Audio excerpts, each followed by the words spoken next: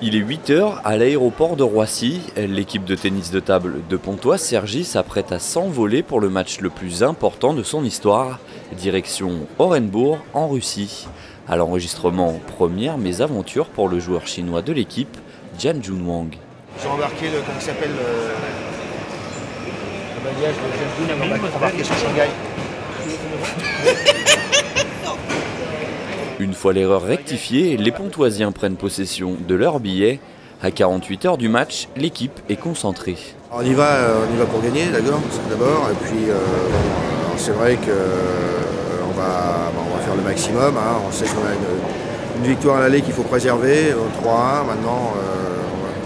Voilà, on va voir ce que ça donne. On sait que ça va être super dur. Demain matin, on va récupérer déjà. Hein. Donc on va pas jouer demain matin, on va venir jouer demain après-midi. Et puis euh, vendredi euh, après, vendredi matin, et puis euh, après on ira pour le match, après-midi pour le match. Donc, voilà. On va se préparer tranquillement. La journée entière sera consacrée au voyage jusqu'à Orenbourg. Les pongistes arriveront à 23h30 heure locale après deux escales à Zurich et Moscou. il faudra alors s'habituer le plus rapidement possible aux 4 heures de décalage horaire.